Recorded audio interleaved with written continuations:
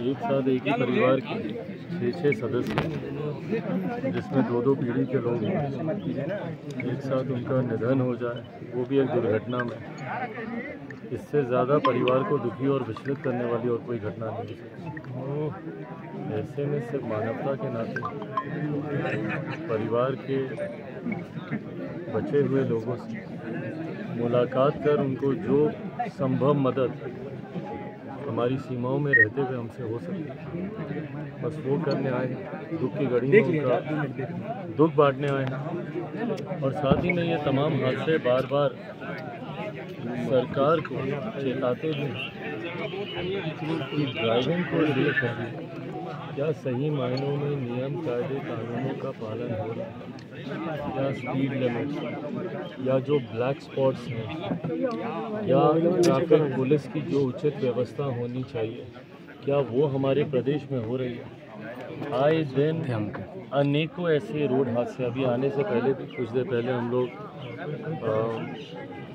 वहाँ पे थे। मनेर में थे। मनेर में भी इसी तरीके से तीन बच्चों का तीन जवान बच्चों का रोड एक्सीडेंट में इसी तरीके से उनका सोचिए उनके माँ बाप, परिवार पे क्या बीतती है। जब परिवार का जवान बच्चा चला जाता है। ऐसे में पुनः ये ज़िम्मेदारी हम लोग की राज्य सरकार की बनती है। और मैं आग्रह करूँगा स्थानीय प्रशासन से चिन्हित करें ब्लैक स्पॉट्स को।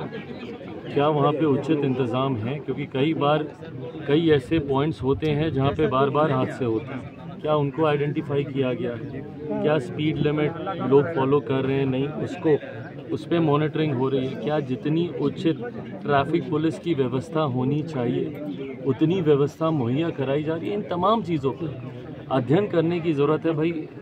हादसा है, घटता है, पर अगर ये हादसा किसी लापरवाही से हो रहा है तो फिर वो हादसा नहीं है। फिर वो लापरवाही है, फिर वो आपकी कमज़ोरी है, जिसकी वजह से परिवार ने अपने घर के लोगों को तो ऐसे में प्रशासन से भी आग्रह करूँ कि जो हादसे बार बार ऐसे घट रहे हैं, उस पर राज्य सरकार कम से कम मुस्तैदी से उसकी समीक्षा करे रिव्यू करे, और जो सुधार करने की ज़रूरत है, यातायात, उन सुधारों को इम्प्लीमेंट जल्द से जल्द किया जाना चाहिए।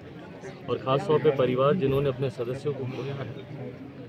जो लोग गए, उनकी भरपाई तो कोई नहीं कर सकते, पर कम से कम परिवार को उचित मुआवजा मिले।